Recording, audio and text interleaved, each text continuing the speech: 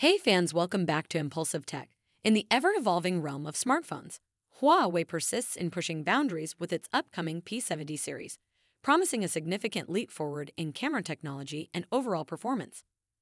Building on the unconventional launch strategy witnessed with the Mate 60 series in the latter half of the previous year, Huawei appears poised to sustain its momentum. The Mate 60 series, known for its unique direct sale approach without a formal conference, achieved remarkable success and generated considerable buzz in the market. The series, currently facing supply shortages, serves as a testament to Huawei's prowess in engaging consumers directly through product availability and performance.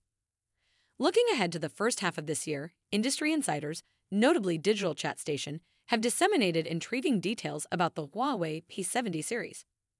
According to leaks, the Huawei P70 Art variant will feature an impressive camera setup, including a 50 megapixel primary camera, a 50 megapixel ultra wide angle lens, and a distinctive 50 megapixel 4x periscope telephoto macro lens with potential cropped format. A standout feature of the P70 Art's primary camera is the incorporation of the Sony IMX 989 sensor, offering a variable aperture for enhanced control over light intake. Notably, the sensor boasts a size of 1 inch, marking Huawei's largest sensor size in any flagship device today.